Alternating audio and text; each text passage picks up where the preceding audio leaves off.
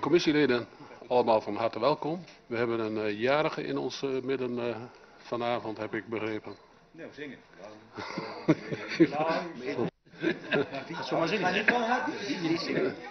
en dat is uh, Gerrit Middelkamp. Vanaf deze kant ook de felicitaties. Mensen op de tribune van harte welkom. En, uh, Wie uh, staat er nog in de proeftijd?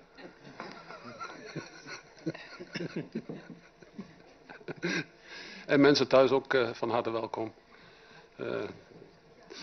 er hebben zich geen insprekers gemeld. Nou, vaststelling van de agenda van, er staat één agendapunt in feite genoteerd, dat is de Rotbrink. kijk nog even of er nog iemand is voor de rondvraag. Niemand. Dan geef ik nog even de spelregels weer. Het is niet de bedoeling om vanavond politieke beschouwingen te houden. Het gaat vanavond om de beeldvorming, dus daartoe mag u vragen stellen. De oordeelsvorming komt iets later aan de orde en dan gaat het over een hamerstuk of bespreekstuk. En de politieke beschouwing die mag u in de raad doen. Wie wenst het woord? De heer Van der Moorden. Ik dank u wel, voorzitter. Um, als wij de stukken goed hebben uh, begrepen en op een rijtje gezet, het was nogal een behoorlijk omvang, dan uh, zijn er naar ons idee uh, drie onderdelen.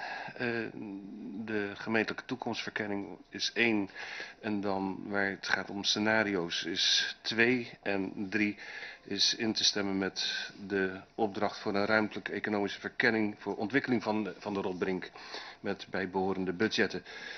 Het was uh, wel even wat puzzelen om na te gaan wanneer wat gebeurde. En we hebben toen ook bedacht dat het niet zozeer gaat om uh, precies alles op een, op een rijtje te krijgen en alle details te kennen, maar de hoofdzaak eruit te pakken. En die hoofdzaak is naar ons idee een beetje te vergelijken met, met een auto waar je wat problemen mee hebt. En is dan nog de moeite waard om daarin te investeren? Hoe lang gaat hij dan nog mee? Nou weet ik, het voorbeeld gaat wat mank. Uh, maar gaan wij nu uh, besluiten uh, om, om daar nog geld in te stoppen? en welke garantie op een, een, goed vervolg hebben we dan? En daar houdt onze vraag ook verband mee. namelijk wat de tweede verkenning, zo zal ik hem maar noemen. Want gaandeweg was, werd natuurlijk wel duidelijk dat een eerste verkenning, ik zal zeggen een interne verkenning met hulp van, van buiten, van, van, van, van bureaus. Uh, die hebben een route opgeleverd en nu staan we voor de vraag van die vervolgverkenning. Wat gaat nu die vervolgverkenning opleveren? Verwachten, kunnen we verwachten wat voorgesteld wordt? We lezen nogal wel wat voorzichtige uh, uitdrukkingen van het zou kunnen. Uh, en dat heeft dus te maken met hoe verstandig is het om toch nog weer investeringen te doen. Die 10 en die 30 en te zijner tijd die 100.000.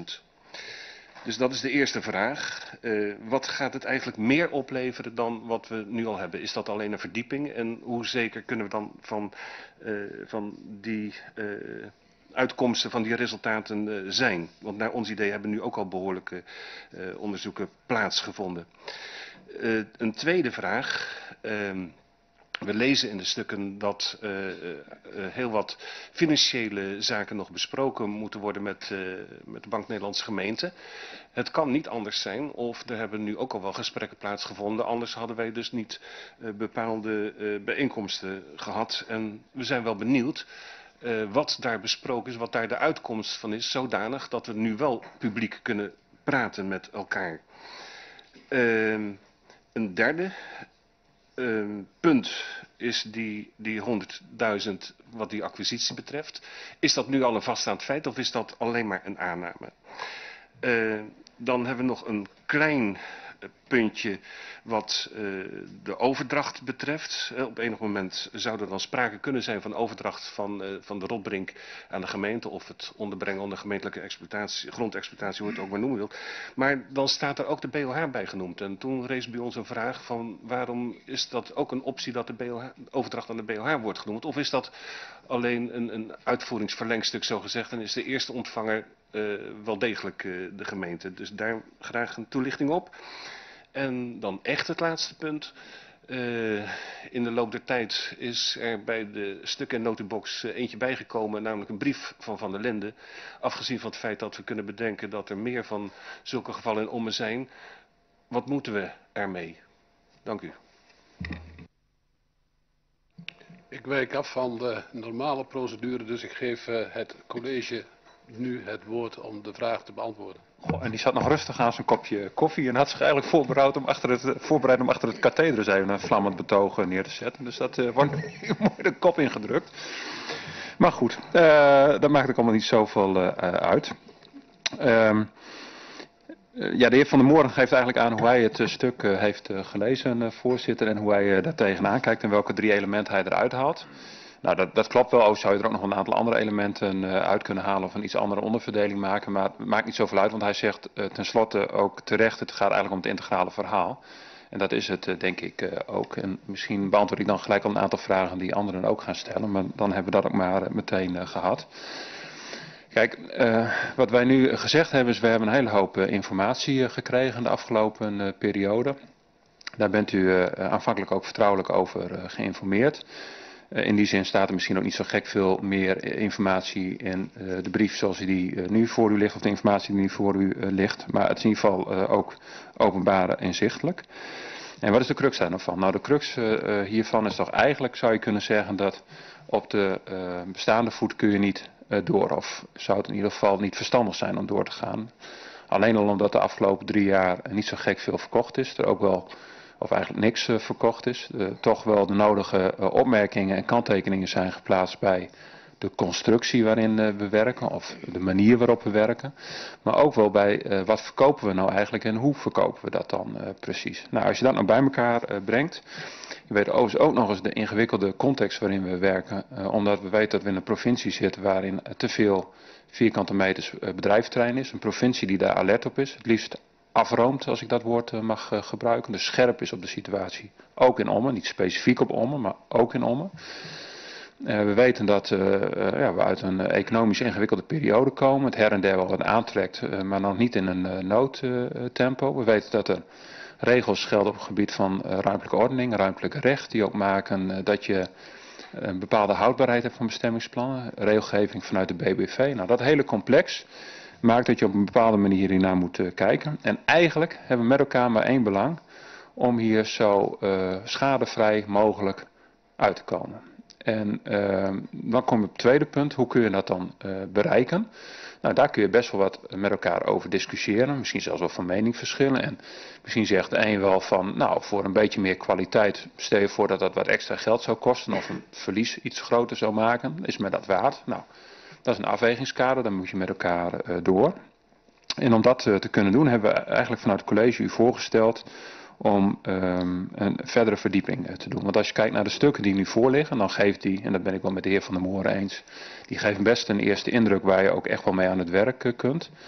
Maar het geeft nog onvoldoende houvast of handvat om echt aan het werk te gaan. En dan kom ik ook een beetje op het punt, wat heb ik nou zelf voor ogen of wat ziet het college voor ogen. En daar moeten we ook echt even uh, met u als raad over doorpraten. Is dat we toch eigenlijk een soort van acquisiteur nodig hebben. En nou, daar wordt die ton ook uh, voor genoemd. Nou, dat moet allemaal nog wel echt ingevuld worden. Dus dat is niet per se een ton. Maar we hebben u ook niet willen onthouden.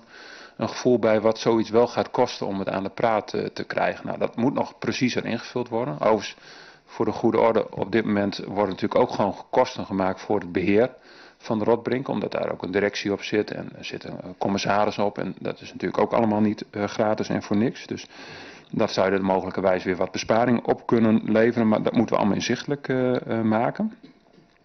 Ja, wat gaat die volgverkenning opleveren? Eigenlijk dat wij in april kunnen zeggen met elkaar, dit is het plan, hier gaan we aan werken.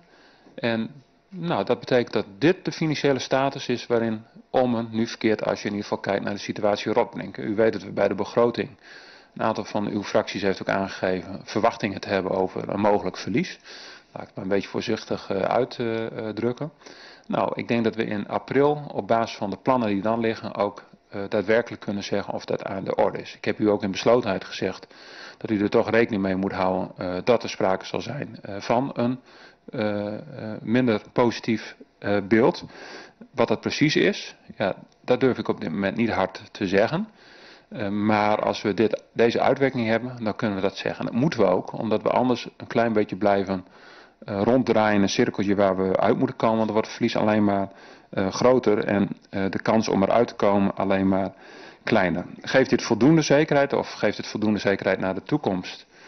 Dat durf ik op dit moment niet te zeggen, maar het geeft in ieder geval wel een beter toekomstperspectief. Daar ben ik van overtuigd. In ieder geval geeft het iets waar we aan kunnen werken. En op dit moment zie ik dat uh, onvoldoende. Uh, gesprekken met de BNG. We hebben uh, vandaag expliciet om terugkoppeling gevraagd van de BNG, omdat we ook natuurlijk hier vandaag met elkaar zitten. We hebben u ook uitgelegd dat wij een aantal wensen bij de BNG hebben neergelegd. Die bezien onder andere op het beëindigen van de constructie, het afzien van uh, de winstdeling. Ja, het is uh, bijzonder om daar nu nog over te spreken, maar in ieder geval het afzien van de winstdeling, het afzien van het recht om een commissaris te benoemen. Wat ook logisch is als er natuurlijk geen BV-CV-constructie uh, meer is. Ook het oplossen van ehm, de kortlopende schulden en het herfinancieren van de leningen die op dit moment aan de orde zijn. Nou, op een hoop van deze punten is de BNG positief, maar nog niet op alles.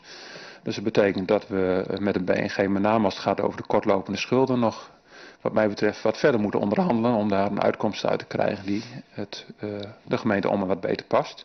Het zal overigens niet makkelijk zijn, uh, zeg ik hier ook maar direct, omdat de BNG toch wel het gevoel heeft dat ze uh, in het verleden om en wel erg tegemoet is gekomen als het gaat om het mee oplossen van eerdere financiële vragen. Nou, voorzitter, dan denk ik uh, dat ik het meeste wel heb gehad. Het punt van die overdracht aan de BOH of de gemeente, kijk nog even precies hoe het geformuleerd is om daar een goed antwoord op te kunnen geven. Dus kom ik straks nog even op terug als u dat goed vindt. Ja, die zoek ik ook even uit hoe dat uh, precies zit. En ik, heb no ik was net notenbox aan het opstarten, dus uh, daar bleef ik in steken. De heer Remmels. Dank u wel, voorzitter. Ja, voorzitter, zelfs voor degenen die uh, de geheime bijeenkomsten niet hebben meegemaakt, staat er niet zo heel veel nieuws in. Daarom wil ik me maar beperken tot een aantal risico's en, en daar toch nog even op inzoomen. Uh, de burgemeester gaf al aan, uh, liquiditeit is natuurlijk een, een, groot probleem, wordt ook genoemd als, uh, als risicopunt. er staat zo mooi geformuleerd, we moeten samen wel met de rotbreng zorg dragen voor het blijven voldoen aan de financiële verplichtingen. Klinkt logisch. Alleen ja, hoe, hoe, groot is dat probleem nu en uh, welke maatregelen moeten we nu al gaan treffen om daar uh, in te blijven kunnen voorzien. Uh, het tweede puntje wat genoemd wordt is de, de grondexploitatie. er zullen nadere afspraken gemaakt moeten worden over de wijze waarop dit plaatsvindt. ik was toch wel benieuwd, ik mag er toch van uitgaan dat er al enige beelden bestaan hoe dit eruit gaat zien en welke financiële effecten het heeft. Het wordt nu nog wel erg cryptisch en vaag omschreven, als ik het zo mag uitdrukken.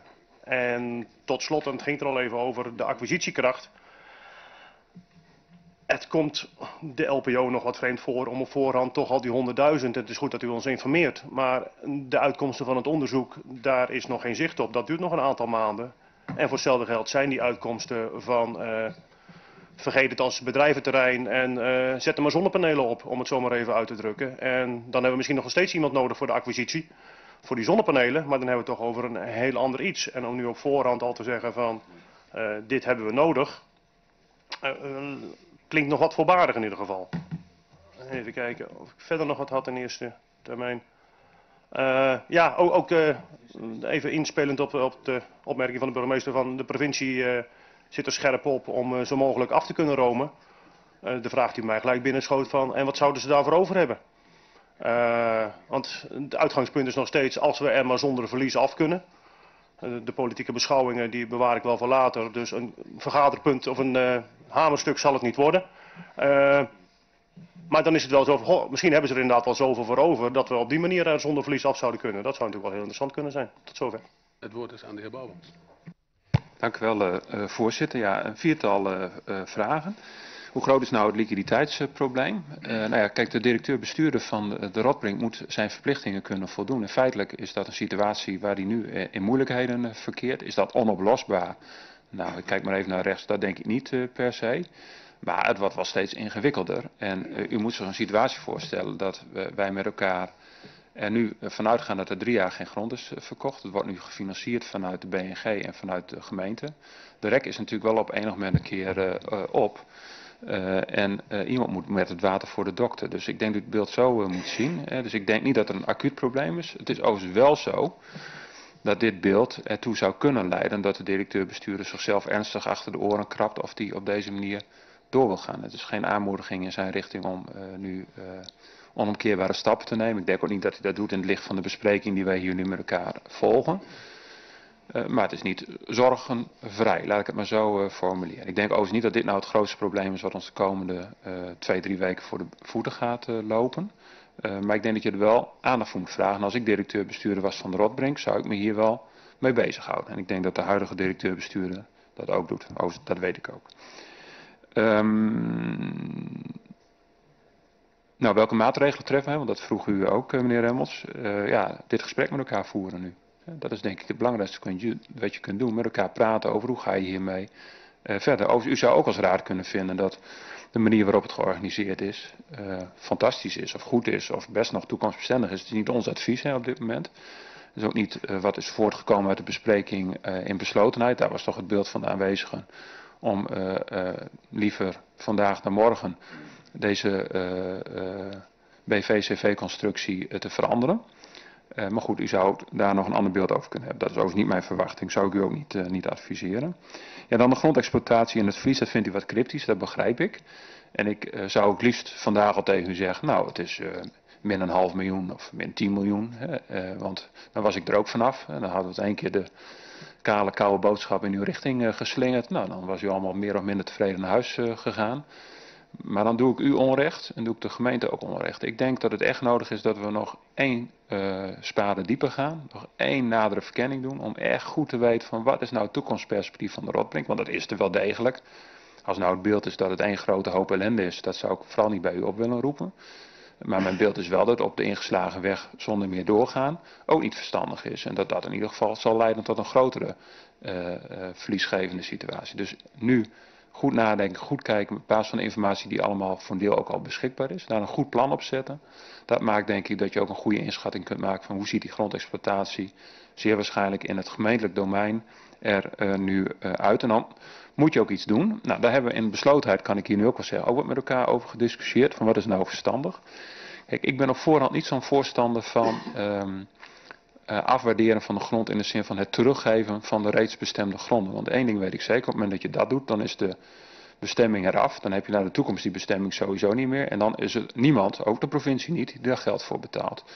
Je zou overigens, want dat was uw vraag, ook best met de provincie dat gesprek aan kunnen gaan. Ik ben daar niet op voorhand hoopvol over. Tegelijkertijd ken ik uit eigen ervaring voorbeelden waar provincies wel degelijk met gemeenten om tot een betere afstemming op regionaal niveau te komen, wel iets doet richting gemeenten die in een misschien situatie zitten waarin ze wat kunnen betekenen voor buren. Nou, dat gesprek kunnen we natuurlijk prima aangaan. En het college is ook voornemens om met uh, portefeuillehouder van de provincie dat gesprek gewoon te gaan voeren. En dan is de insteek wat ons betreft du wat duidelijk. Uh, laat de provincie uh, daar met ons actief over meedenken en eventueel ook kijken of daar financieel iets in mogelijk is of anderszins. Nou, heb je nou die ton nodig? Is dat voorbarig?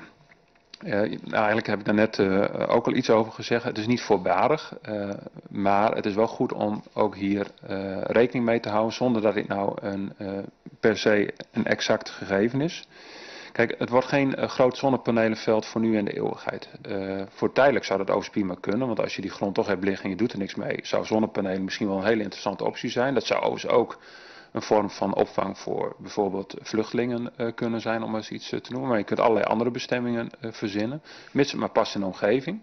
En de omgeving daar ook mee akkoord kan gaan. En dat financieel natuurlijk ook iets betekent, maatschappelijk. Maar goed, dat gesprek moeten we ook met elkaar voeren. Er zal nog altijd sprake moeten zijn van acquisitie. En ehm, ik denk dat er echt iemand actief de boer op moet. Ik, zal u nog sterker vertellen. Ik heb gisteren, toen ik hier naartoe reed, nog even de stoute gedachte gehad. Misschien moeten we wel geen acquisiteur nemen, maar nemen we er nog een halve wethouder bij die alleen maar EZ in portefeuille neemt en niks anders gaat doen dan grond te verkopen. Wat ik daarmee bedoel te zeggen is eigenlijk maakt het niet zoveel uit. Iemand moet gewoon zorgen dat we van die grond uh, afkomen. Uh, en die moet er echt hard aan trekken, want het gaat, ook als wij een nieuw plan maken, zal het niet vanzelf uh, verkocht worden.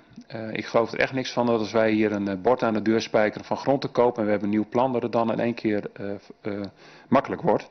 Ik denk wel dat met een goede visie en een goed beeld en een, en een goed merk, dat je het beter kunt verkopen. Zeker als je daar iemand bij hebt die dat gewoon adequaat oppakt. En dat kost ook gewoon geld.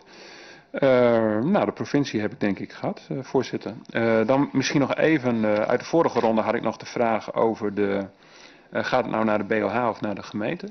Kijk, het is natuurlijk zo dat we onze ambtelijke organisatie overgebracht hebben naar de bestuursdienst. Dus de bestuursdienst zal ook uitvoering moeten geven aan die grondexploitatie. Zo moet u het uh, lezen. Alleen het financiële risico, wat er eventueel is, of de schade die er eventueel is, die hoort natuurlijk bij de gemeente. Het zou mooi zijn als de BOH die uh, voor haar rekening nam, maar ik, ik, ik, vermoed dat dat niet, niet gaat lukken. Dit keer niet. Nee. Uh, ja, dan de brief, wat moet u daarmee? Die heb ik ook nog even uh, gekeken, meneer Remmels. Het was ook voor de buurman, maar dat neemt u me vast niet zo kwalijk. Ja, die, die, die is u toegestuurd. Ja. Ja. Dat is een meedenkende burger. Voorzitter, ik denk dat ik de vraag moet terug. Na de hulpburgemeester hebben we nu dus het gaat over de hulpwethouder. Uh, de heer Moerman heeft het woord. Ja, voorzitter. Ja, een halve wethouder erbij. Ja. Um, nou, de, ja, de belangrijkste vraag is inderdaad al gesteld.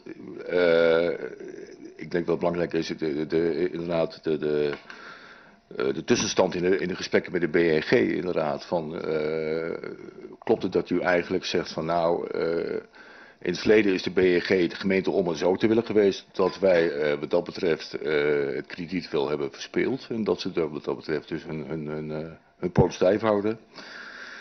Um, en ik neem aan dat ook al deze informatie ook is gedeeld met de huidige gebruikers, eigenaren van de rondbrink, want die zijn er gelukkig ook nog. En ik was ook benieuwd naar hun reactie op dit. Dat was het.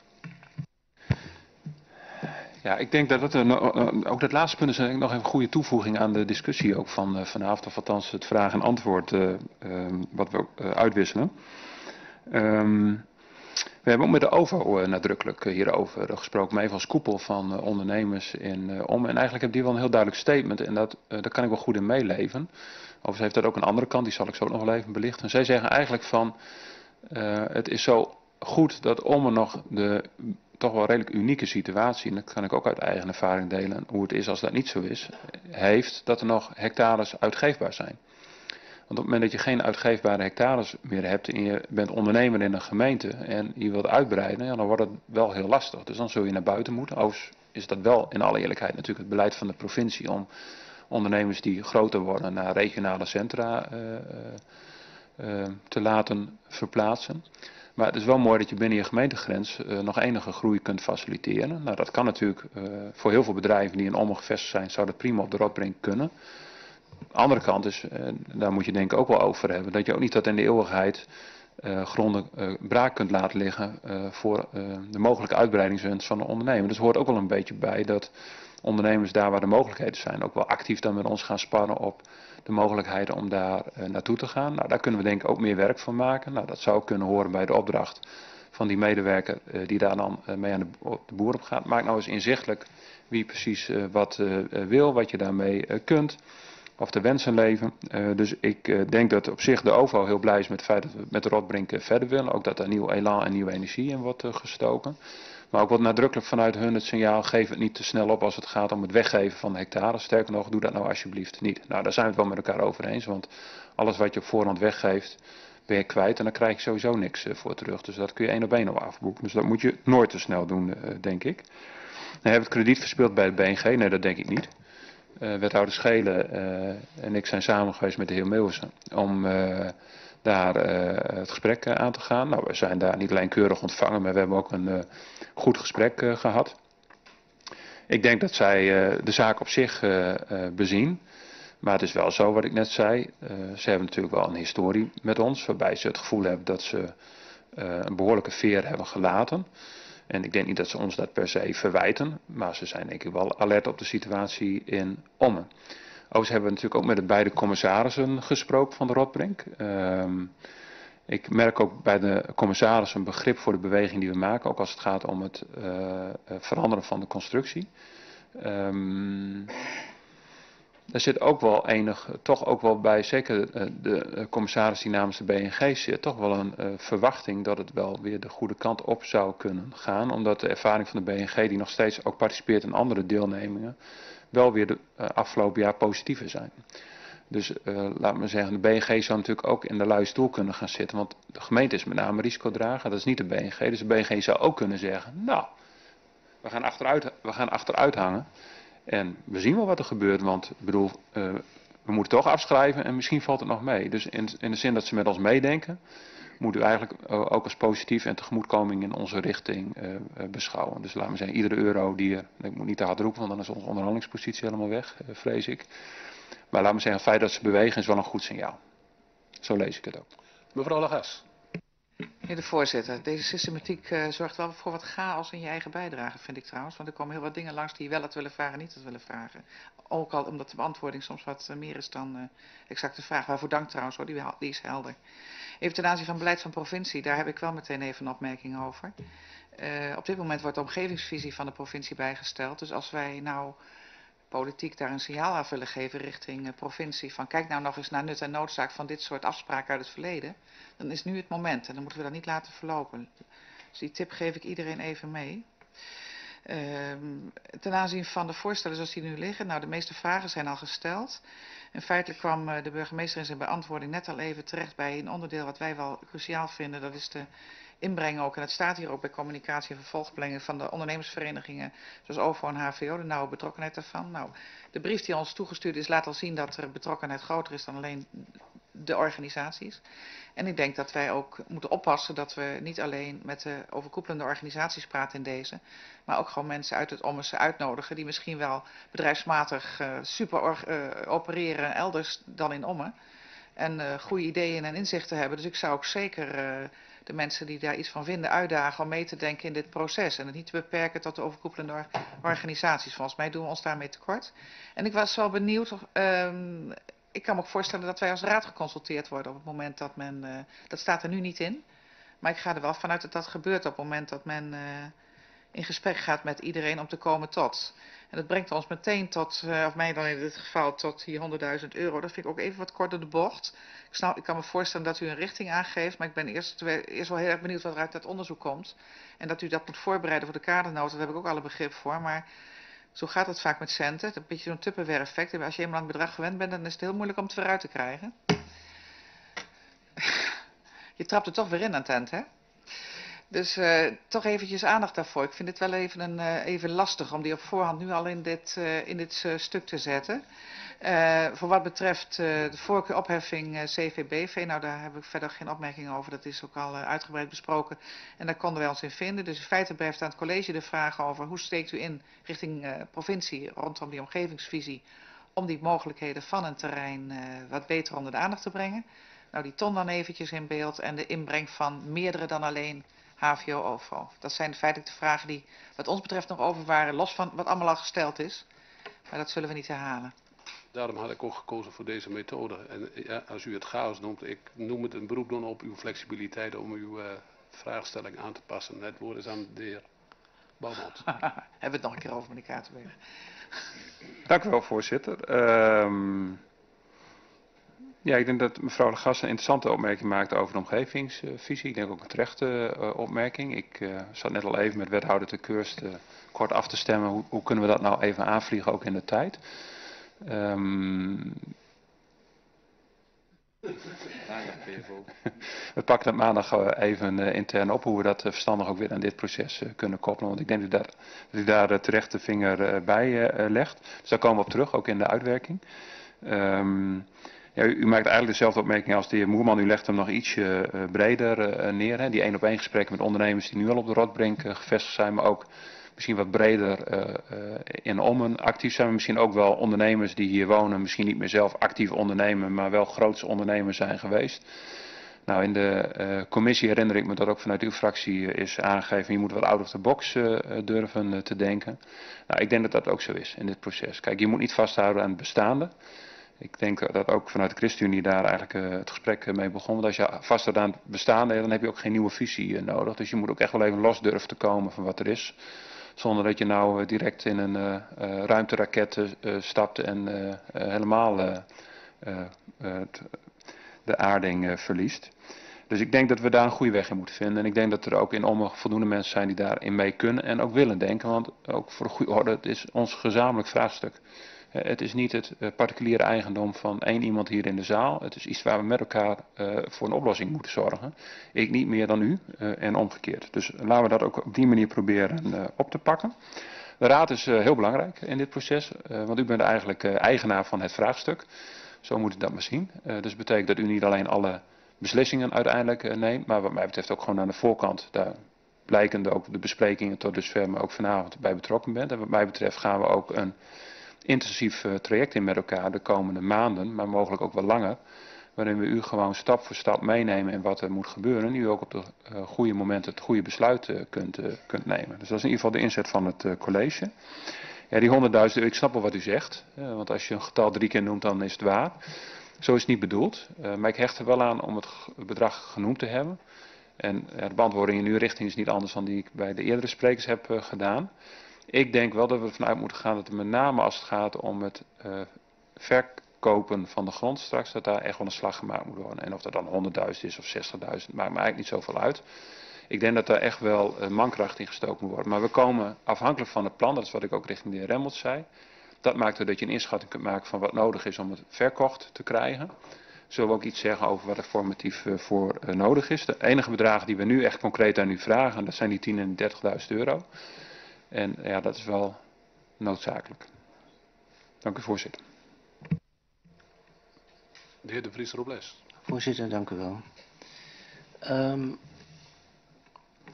de hele materie even, zou maar zeggen, in, in het kort ontpellend, zou, maar zeggen, zou ik zeggen, bevrijkt twee vragen aan de orde. De ene is de ontbinding van de CVBV. En uh, mijn vraag die ik daaraan zou willen verbinden is, aan welke tijdstermijn denken we dan? En de tweede vraag is natuurlijk, uh, wat doen we dan met een bedrijventerrein, wat we, zou maar zeggen, de exploitatie van vlot zouden moeten trekken? En dat is ook eigenlijk de manier waarop u het vraagt. U vraagt 10.000 euro eigenlijk voor juridische ondersteuning rondom de opheffing van CVBV. En vervolgens vraagt u nog 30.000 euro om, laten we zeggen, voor de kadernota met een beredeneerd plan te komen rondom uh, welke maatregelen we zouden kunnen nemen om de rotbrink op een andere manier uh, tot exploitatie te brengen. Vlot te trekken zou je het haast kunnen willen zeggen. De vraag is dan, zie ik dat op deze manier correct? Dat u, en dan, is dan kunt u dan iets aangeven over het tijdstempo waar u denkt om die CVBV te, uh, te ontmantelen? Uh, wat mij betreft zo snel mogelijk. Maar dat moet natuurlijk ook juridisch allemaal kunnen. Ik wil dan ook wel ondersteunen wat mevrouw Lagas zegt. In die zin van, wat mij betreft, en dat heeft u volgens mij net ook bevestigd, is die 100.000 nu niet in de besluitvorming. En ik vind dan wel dat we pas over bedragen moeten gaan praten als we daadwerkelijk zicht hebben op welke maatregelen we nou willen nemen. En u zegt, ja het kan 60, het kan een ton zijn, maar ik vind dat we reële bedragen moeten noemen op het moment dat we zicht hebben op welke maatregelen we willen nemen. En ik onderstreep wel dat een bedrag wat je zo noemt vaak een heel eigen leven gaat leiden. Dus de enige concrete echte vraag is, wanneer is, denkt u nou snel die CVBV te kunnen ontmantelen? Van die 100.000 heeft u al gezegd, die zit nu niet in de besluitvorming. En dan wil ik ook nog even de volgende vraag stellen. Uh, wij hebben in uh, ons begrotingsproces feitelijk al rekening gehouden met het feit dat die BNG-lening, dat we die overnemen. Die zit bij ons al in de lange termijnplanning. Maar pas in 2017. En als we ontbinden in 2016, dan heeft dat dus al consequenties voor financiën 2016. En daar wil ik graag even van u ook een uh, duiding van hebben. De, Uh, de volgende vraag is dan van rondom dat plan wat er komt, waar die 30.000 euro nu voor gevraagd wordt, hebben we al meerdere keren met elkaar besproken dat het echt de bedoeling is om zoveel mogelijk dan ook echt nieuwe ideeën te genereren. Om eens even te denken aan dingen die we in het verleden eigenlijk nooit op de agenda gehad hebben. Out of the box hebben we dat genoemd. Maar eh, waar ik op wil wijzen, en dat wil ik ook vragen dan, is houden we dan ook rekening met mogelijke wijzigingen in het bestemmingsplan? Want het bestemmingsplan heeft op sommige punten, dat is ook meerdere keren door de directeur van de Rotbrink aangegeven, uh, ja, uh, knelt het. En dus zouden we om andere nieuwe out-of-the-box ideeën te kunnen doen, ook aan een iets andere invulling van het bestemmingsplan kunnen denken. Mag ik ervan uitgaan dat u dat soort zaken ook meeneemt in die verkenning? Dus dat als dat daadwerkelijk aan de orde is, dat het dan ook in die verkenning waar wij in het voorjaar met elkaar gaan over praten, uh, benoemd wordt. En dan wil ik u zeggen, dan kijk ik wel iets anders tegen de brief aan die we nu gekregen hebben. Want het eigenlijke verzoek wat daarin staat is, als daar bestemmingsplanwijzigingen toegestaan gaan worden op de Rotbrink, dan heb ik ook nog een stuk grond of uh, bestemming, waar ik dan mogelijk ook van die verruimde bestemming uh, gebruik zou willen maken. En ik vind wel, gelijke monniken, gelijke kappen. Dus als wij daadwerkelijk over verwijziging van de bestemming op de Rotbrink praten, dan vind ik dat we ook met die ondernemer bij wijze van spreken en mogelijke andere ondernemers in gesprek moeten om te kijken wat dat voor consequenties heeft. Deelt u die mening? Um, Tijdsplanning heb ik het al over gehad. Ik wil nog één uh, opmerking en vra vraag feitelijk stellen. Het is volgens mij zo dat er ook een wijziging in het BBV aan zit te komen. Rondom hoe wij met niet in exploitatie genomen gronden of wel in exploitatie genomen gronden om moeten gaan.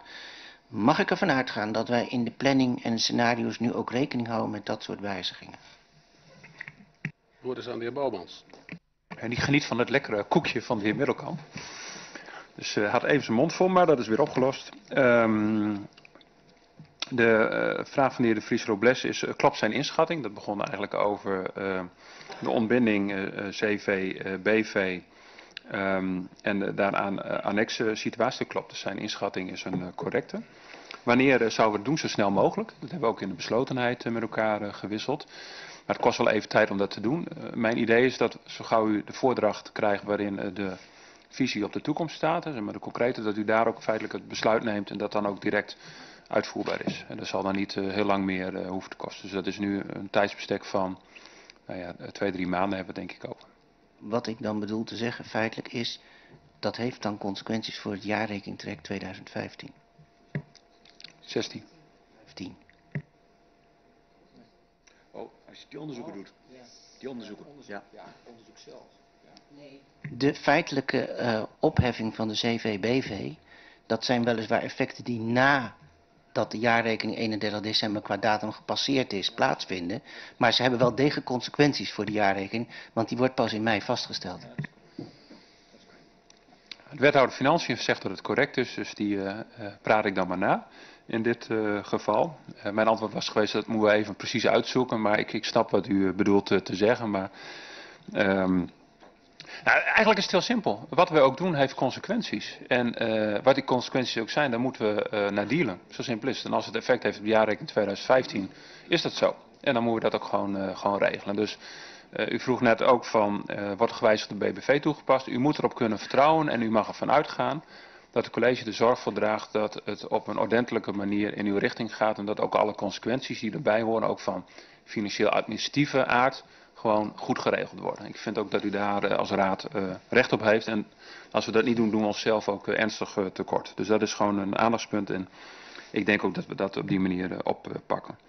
Um, die 100.000 euro, misschien toch even goed zeggen waar dat vandaan komt. We hebben in de beslotenheid ook met elkaar vrij intensief gesproken over hoe moet je nou zo'n plan straks gaan vermarkten. En wat moet je daarvoor doen? En is dat een makkelijke opgave? Mijn inschatting is dat niet zo is. En mijn ervaring is ook met uh, tientallen grondexploitaties de afgelopen uh, toch tien jaar. Dat er vaak een grondexploitatie van deze omvang één iemand op zit die bijna fulltime niks anders doet dan die grond verkopen. En dan kun je echt, dat doe ik ook wel in alle eerlijkheid, afvragen. Wat doet dan iemand in vredesnaam 36 uur per week om een paar kavels te verkopen? Maar blijkbaar werkt dat wel zo. Uh, en ja, dat is ongeveer een ton per jaar. Daar komt die ton vandaan. Ik denk ook dat het snel die kant op zal gaan. Maar ik ben het helemaal met u eens. En ook met de vier voorgaande sprekers. Dat moet er wel goed onderbouwd uh, worden. Je moet geen eigen leven gaan leiden. Maar als wij denken dat dit vanzelf goed gaat komen door alleen een plan te maken. Uh, dan is dat ook een misrekening. Dus ik denk dat we elkaar inmiddels wel goed verstaan hebben. Tenminste, dat hoop ik. u krijgt gewoon een goed onderbouwd voorstel over hoe de grond te verkopen. En wat het dan gaat kosten. Voor wat betreft leningen vanaf 2016 wordt er voor de helft al rekening mee uh, gehouden. Vanaf 2017 volledig. Uh, en dan bestemmingsplan. Ja, dat is een, een uh, goed punt. Dat raakt overigens ook wel weer een beetje aan de opmerking over de omgevingsvisie die uh, mevrouw Lagas maakte. Kijk, een bestemmingsplanwijziging die een verruiming zou betekenen, dan is de provincie zeer waarschijnlijk uitermate alert. een vermindering is waarschijnlijk ook wel alert, maar zal de provincie ook wat ontvankelijker voor zijn, in mijn inschatting. Maar waar vooral naar moet kijken is een plan te maken wat past bij uh, wat goed is voor Ommen en wat goed is voor die plek en wat ook nog eens zou kunnen verkopen. Want een bestemmingsplanwijziging uh, à la en meldt zich nu een recyclebedrijf wat zegt nou, zoals ik dat bijvoorbeeld in de Eemshaven wel eens mee heb gemaakt de afgelopen jaren, doet hij mij maar in één keer 10 hectare en ik ga daar een prachtig mooi state-of-the-art recyclebedrijf neerzetten. Het enige wat hij hoeft te doen is even zorgen dat het milieucategorie 4 wordt. Nou, ik denk niet dat we dat met elkaar uh, willen. Uh, en zo kan ik nogal wat voorbeelden eh, verzinnen. Want bijvoorbeeld in het kader van verduurzaming. biovergisting is ook ontzettend duurzaam. Daar krijgt u zelfs van het Rijk grote subsidies op. Maar ik denk ook dat niemand hier in de zaal het een briljant plan zou vinden als het college straks met een uitwerking komt. Dat dit het meest grootschalige biovergistingspark wordt van Oost-Nederland. hoeft denk ik niet eens zo'n enorme verruiming van het bestemmingsplan op te leveren. Dus nou, ik denk dat we elkaar wel begrijpen wat voor richting we het zoeken. En dat we dat out of the box moeten doen. Maar het zou kunnen betekenen dat het inderdaad iets met het bestemmingsplan doet. Nou, daar moeten we dan met elkaar natuurlijk ook over komen te spreken. Het kan ook af en toe afhankelijkheden van derden betekenen. Dat moeten we ons ook gewoon goed realiseren. Het is niet helemaal een wereld die we free design, dat we alles hier met elkaar kunnen bedenken. Soms loop je ook tegen anderen aan en moet je daar ook weer mee zien te dealen. En dan die gelijke gevallen. Um, ik denk niet dat de brief per se een gelijk geval is. En uh, wethouder de Keurs fluisterde me net al even in, er zijn er mogelijk nogal wat uh, gevallen die dan, als deze brief een gelijk geval is, onder de categorie gelijk geval zouden vallen. Ik denk dat we heel erg moeten uitkijken om uh, die kant op te gaan, want dat gaat allemaal om toch overwegend particuliere situaties. Dat ligt hier iets genuanceerder. Dus ik ben niet op voorhand van mening dat we alle situaties nu weer in kaart moeten brengen en op basis van eigen overwegingen direct met tot bestemmingsplanwijziging moeten komen. Ik denk dat we eerst maar eens even dit traject in moeten gaan. Als dat een uitkomst heeft die in die richting duidt. En dan komt de vraag, dan moeten we daar toch iets van vinden. Ehm, maar ik wou het ook niet veel proactiever zijn dan dit. Voorzitter, dan heb ik ook de vraag van de heer De Vries Robles beantwoord. Denk ik. De heer De Jonge van de VOV. Ja, voorzitter, eh, dank u wel. Ik zal proberen mij te beperken tot de vraagstellingen. Uh, alhoewel ik maar begin met toch maar de brieven waar uh, de burgemeester mee eindigt. Want wij zien dat los, laat ik er helder in zijn, van uh, de verdere ontwikkeling van de Rotbrink. Dus de, het verhaal over de Balken, Balkenweg. daar waar het gaat om, eigenlijk heeft, heeft u een helder betoog gegeven. Maar datzelfde betoog heb ik al een aantal jaren geleden ook al gehoord. En dat betreurt, dat betreurt mij. En daar gaat ook een beetje mijn vraagstelling over. Want uh, als, je kijkt maar, als je kijkt naar de toekomst voor uh, de Rotbrink. En ik, volgens mij heeft, is er een interruptie links, voorzitter? Of? Niet dus. Nou, ik denk zal u even helpen. Maar, voor, maar voor, voorzitter. Um, dat er toekomst is voor de Rotbrink, dat is voor ons ook wel helder. Voorzitter, wij hebben wel een vraag. Want u heeft, uh, de burgemeester, de portefeuillehouder, heeft een aantal keren aangegeven dat hij de directeur-bestuurder uh, achter de oren wil laten krabbelen. Voorzitter, dat zouden wij ook wel willen. En wij zouden graag uh, voor 17 december, dus volgende week, willen horen van of we met, met het huidige team verder kunnen gaan. Ik kom er straks in mijn vraagstelling op terug. En ik zou ook graag willen weten van hoe de commissarissen daar tegenaan uh, kijken. Dus gaan we verder met, met het huidige team en met de huidige uh, bestuurde directeur. Voorzitter, en dan mijn vraagstellingen die komen daar, ja, sluiten daar een beetje, die sluiten daar een beetje op aan. Ik moet toch even ingrijpen, want uh, op de agenda staat niet uh, de, de directeur-bestuurder uh, dat soort dingen meer. Er staat een wijziging van de CVBV en we gaan, hier, we gaan het hier niet hebben over personen. Voorzitter, ik ben bezig met, ik heb het niet over personen, voorzitter. Ik ben bezig met een stukje beeldvorming te krijgen waarop ik volgende week, of waarop wij volgende week een beoordeling kunnen vellen van hoe wij verder willen met wat ervoor ligt, voorzitter. Dus als u mij de gelegenheid geeft om mijn vragen te stellen, dan zult u ook zien waar mijn inleiding voor nodig uh, is. Voorzitter, uh, wat wij graag willen weten is wat er de afgelopen jaren gebeurd is aan die acquisitie. En dan hoeven wij niet te horen van wat er gebeurd is met focus. Want uh, focus was van onze optiek is dat er geleid van focus naar focus naar tunnelvisie. Maar wat er verder gebeurd is. En ik heb het al een aantal keren aangegeven, dat willen we graag weten, omdat wij geluiden uit de samenleving hebben. Dat er uh, mensen die aan de deur geklopt hebben, buiten zijn blijven staan. Dus wat is er gebeurd aan acquisitie? Wie hebben de verzoeken ingediend om gronden te kopen? Of, laat ik zeggen, ik hoef niet te weten op persoon. Maar zijn er mensen aan de deur geweest om gronden te kopen? Zijn die afgewezen en waarop zijn die afgewezen? Dus kortom, wat is er de afgelopen jaren gebeurd in die trend en in de acquisitietrend? Even kijken, uh, voorzitter, want een hele hoop is al aan de orde geweest. Ja, voorzitter, maar, maar want ook die 100.000 euro die al benoemd is, daar zouden we best, ons best in kunnen vinden. Maar om daar een oordeel over te vellen, hebben wij wel de informatie nodig die ik u zojuist gevraagd heb. Dan voorzitter, als het gaat om het ontbinden van het contract, de CVBV, en uh, ik heb uh, de portefeuillehouder al horen zeggen van de BNG heeft er eigenlijk een beetje gehad uh, met, met Omni. We hebben daar veel krediet in verspeeld. Alhoewel ik een aantal jaren geleden wel gehoord heb dat zij met ons verder willen en ook verder wel succes zouden vinden in de Rotbrink. Dan zou ik wel graag willen weten van wat zou het betekenen als we met hun verder gaan en zou dat kunnen onder dezelfde rentepercentage die wij een aantal geleden, jaren geleden bij de opheffing van de drieslag en toen we gekozen hebben voor deze BV-CV, of we die rentepercentage, of dat haalbaar is, of, of, dat u zich ervoor in wil zetten om die, uh, dat percentage uh, binnen te halen en zodoende nog verder te kunnen gaan. Even kijken, ik heb nog wat op het papiertje geschreven naar aanleiding van, dan ga ik even terugkijken. Nee, volgens mij heb ik dan de vragen gesteld. Voorzitter, dank u wel. Het woord is aan de heer Bouwmans. Ja, ik, ik, zat aan het begin van de inleiding uh, te denken van de heer De Jonge. Die zei van ik heb een paar jaar geleden hetzelfde verhaal uh, gehoord. Dat was in ieder geval een bestuurder met een vooruitziende blik, uh, denk ik dan. Wie dat ook maar geweest mogen zijn. Ehm, maar ik vertel u gewoon het verhaal zoals ik daar nu in zit en zoals het college er nu in zit. En ik kan het niet mooier maken, kan het ook niet lelijker maken, ga ik ook niet doen. Dit is gewoon het verhaal, klip en klaar, helder en duidelijk. Uh, meer heb ik niet op tafel te leggen.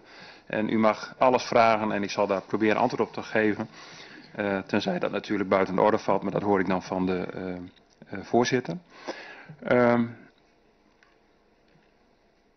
er is geen sprake van wantrouwen in wiens richting ook. Laat ik dat maar gewoon zeggen. Dus wij hebben ook als het gaat om het huidige team gevraagd om met ons naar het einde toe te werken. Punt.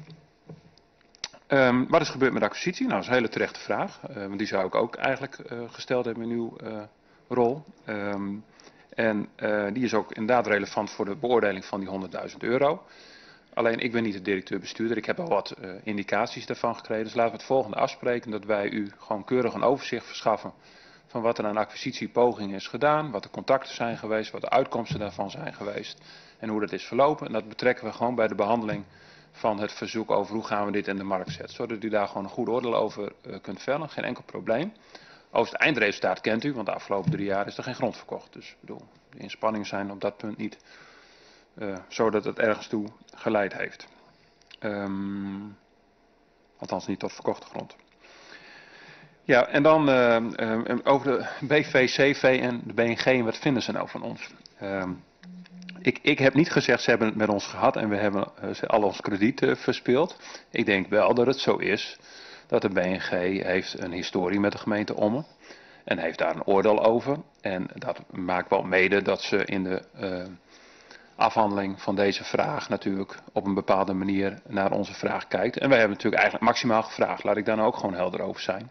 Want we hebben eigenlijk de volledige factuur uh, die kant uh, opgestuurd, althans voor wat betreft het deel dat nu bij de BNG staat. Ehm, nou, ik heb u net al gezegd, uh, ook in antwoord op de heer Van der Moorn, dat we daarover in gesprek zijn. Dat gaan we verder doen en we proberen dat op een voor de gemeente om een zo goed mogelijke manier te doen. Nou, wij kunnen u daar ook in maart, april, als we daar met elkaar weer over komen te spreken, het eindresultaat gewoon laten zien. En dan kunt u daar ook gewoon oordeel over vellen of u daar tevreden mee bent. Dat gaat dan ook over die rentepercentages, want die betrekken we daar ook bij. Inzet is natuurlijk gewoon dat we zo laag mogelijke rente betalen. Dat zal de wethouder Financiën uh, beamen.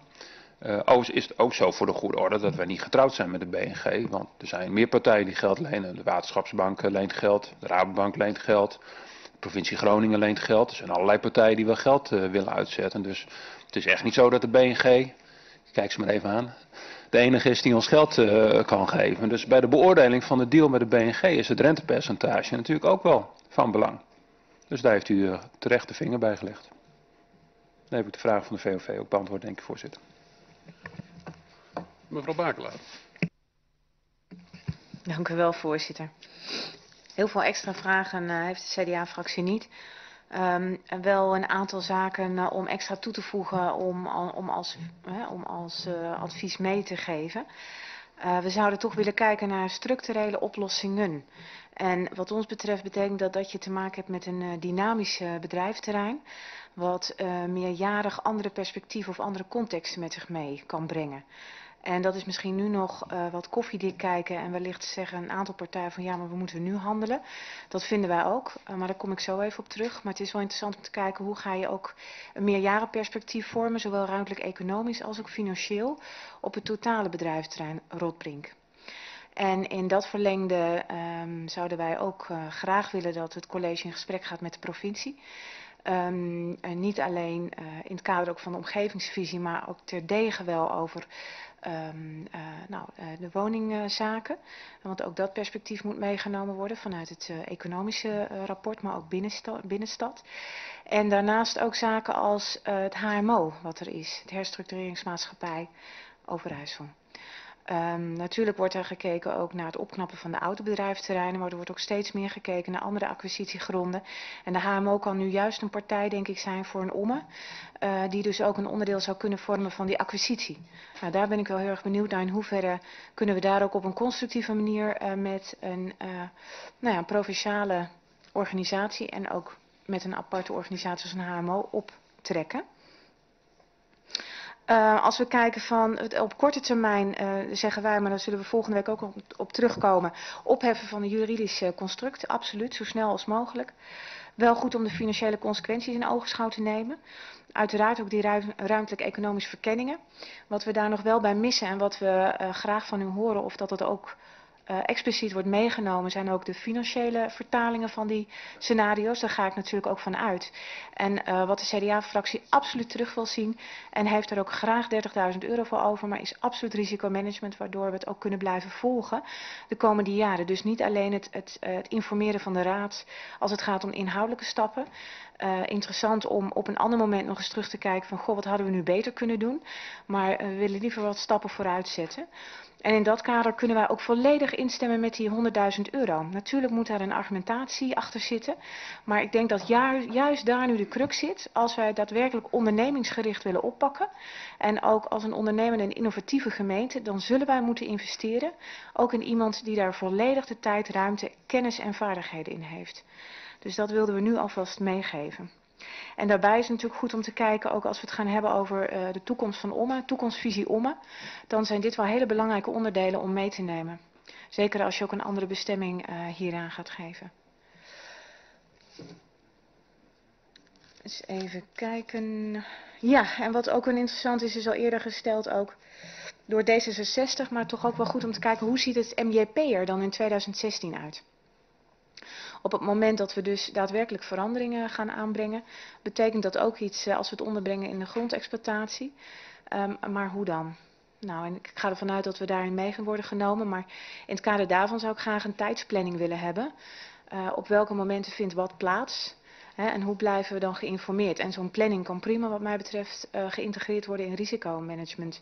Uh, maar dat is wel iets wat ontwikkeld of in ieder geval opgezet moet worden. Nou, dat wilde ik belaten. Dank u wel, voorzitter. De heer Bouwmans. Ja, dank u wel, voorzitter. Ik vond eigenlijk de uh, eerste opmerking van mevrouw Bakelaar wel een, een mooie. Ze verwoordt in ieder geval uh, op een goede manier. En uh, zo is het ook wel bedoeld in het stuk. Het gaat inderdaad, eigenlijk is het een beetje hybride vorm waar je denk ik in terecht gaat komen. Een deel zal in exploitatie genomen worden, een deel misschien nog niet, maar kan wel een tijdelijke bestemming krijgen. Of niet. dus er zijn allerlei vormen denkbaar. En ik denk dat we echt de komende drie, vier maanden, die, wat ik net noemde, de spade diepen in uh, moeten maken om, om nou, daar een goed beeld bij te krijgen. Maar ik ben helemaal niet, dat ik denk, er liggen helemaal geen kansen en mogelijkheden. Maar je moet nu wel die slag maken naar wat zijn ze dan en hoe gaan we daar dan mee om. En daar dan ook eventueel de consequenties van onder ogen willen zien als dat aan de orde is. En dat is inderdaad een meerjarig perspectief. En dat moeten we ook doen, hè, omdat we vanwege die BBV-regelgeving, wat net vanuit de fractie van D66 ook werd aangegeven... Um, ja, moeten wij gewoon met een goed verhaal komen. Hoe gaan we nou de komende acht jaar, maar misschien wat langer als dat nodig is, dat aan? En hoe kunnen we dat dan met al die stakeholders die daar ook wel iets weer van gaan vinden of mogen vinden, hoe kunnen we dat dan een beetje managen? En dan raak je ook aan um, die andere punten die u net noemde. De ene was gesprek met de provincie, breder dan alleen over bedrijfterreinen. Terecht dat u dat uh, zegt. Dat ligt ook in het college breedte, want ook wethouder de Keurst heeft met deze vakgedeputeerden veel contact over de woningcontingenten. Um, goede suggestie denk ik van de HMO om die er ook bij te betrekken. Zeker als de taakopvatting daar breder wordt dan alleen uh, herstructurering. Overigens geldt er ook voor dat we ook samen met Hardenberg natuurlijk in de samenwerking best eens kunnen kijken van waar kun je elkaar niet in de weg lopen, maar elkaar ook uh, versterken. Daar ligt misschien ook wel kansen. Kijk, en uh, Om is natuurlijk geen centrumgemeente. Uh, misschien wel helaas, maar het is in ieder geval een feit. Als je de notitie zou moeten geloven die onlangs circuleerde, dan zouden zelfs onze buren die positie verliezen. Um, maar eigenlijk zijn we wel een centrumgemeente. Want er zijn maar weinig gemeenten in de provincie Overijssel met een aantal kernkwaliteiten zoals Ommen die heeft. Bijvoorbeeld op het gebied van verblijfseconomie of landbouwgerelateerde economie of zorgeconomie, dan zijn we eigenlijk, zonder dat we een centrumgemeente zijn, zijn we daar gewoon groot en goed in.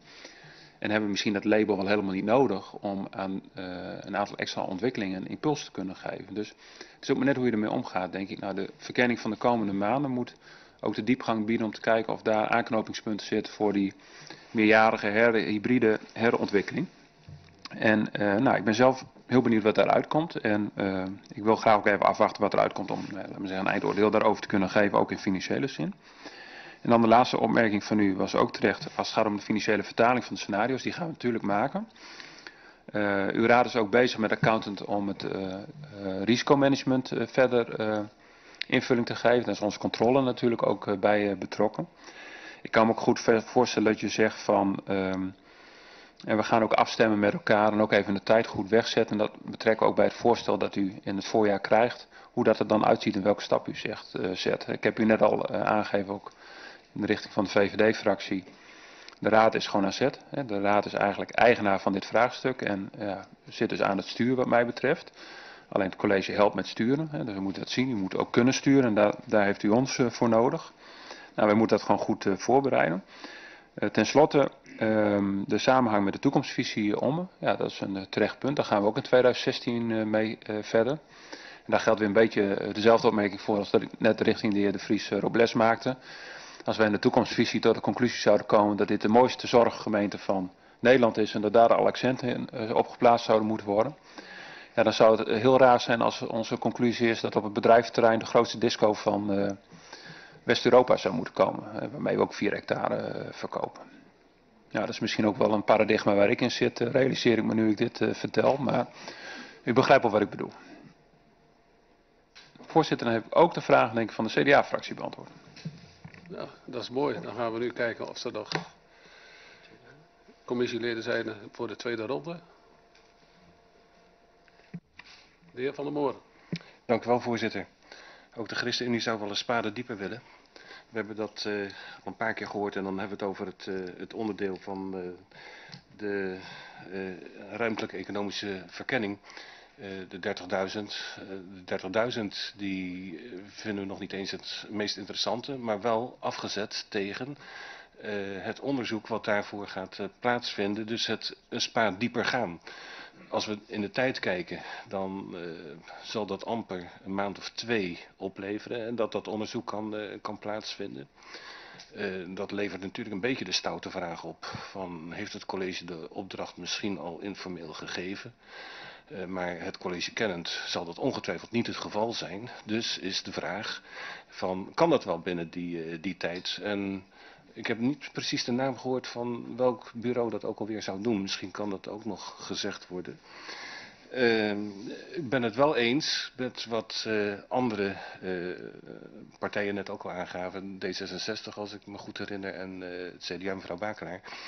Over de, de, noodzaak om inderdaad verder te gaan met, met, met onderzoek. Dus dat onderschrijf ik ook wel degelijk. Alleen hoe zinvol is het om dit bedrag voor dit onderzoek binnen deze korte tijd met de opbrengst die wij verwachten te laten plaatsvinden. Dat is eigenlijk de spaardieper die wij uh, willen op, tafel, op tafel willen leggen. Sorry, dan zit ik toch weer te wachten dat iedereen aan, aan de beurt is geweest. Um, en we hebben de opdracht nog niet verstrekt. Uh, we hebben nog uh, geen bureau precies voor ogen die het zou moeten doen. We wachten even 17 december af. Er zijn wel wat ideeën en namen, maar er is nog geen contact uh, gelegd.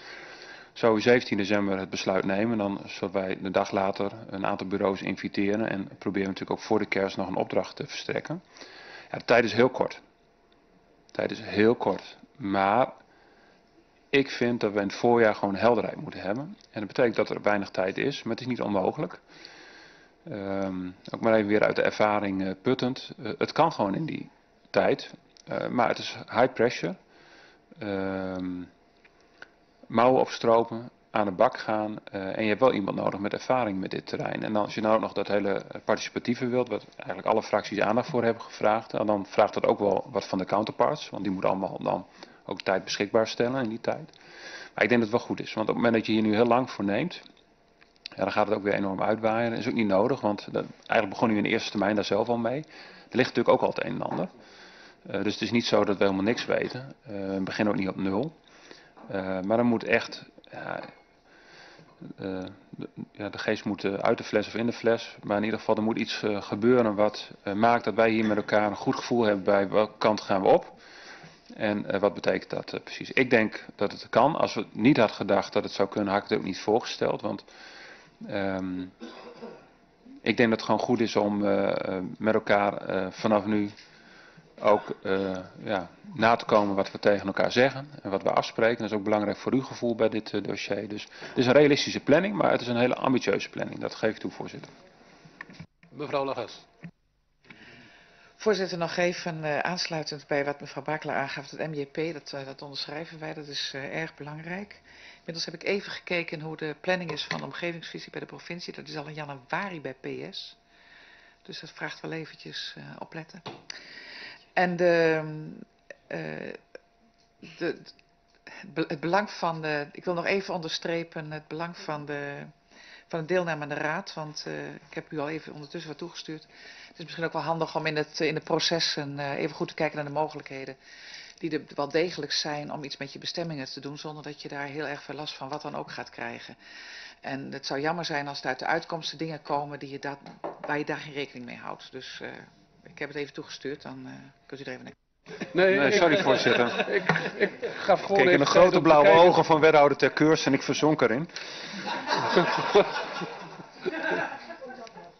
en neemt een glaasje water, ja. Bij gebrek aan sterker. ja. Uh, uh, dank u wel. En mevrouw Legast een aantal suggesties waarvoor ik haar dank. Mevrouw Bakela. Ja, misschien wel even goed in aanvulling uh, op mevrouw Legas. Uh, je hebt uh, de zogenaamde APK-keuring van de omgevingsvisie en je hebt ook de revisie van de omgevingsvisie. En daar zit een uh, vaststelling najaar 2016. Ik denk even voor de volledigheid, dan hebben we hem helemaal scherp. Dan kennen we dat tijdstraject ook en dan constateer ik dat we aan het einde zijn van de tweede ronde. En er geen rondvraag is. Dus ik wens iedereen wel thuis.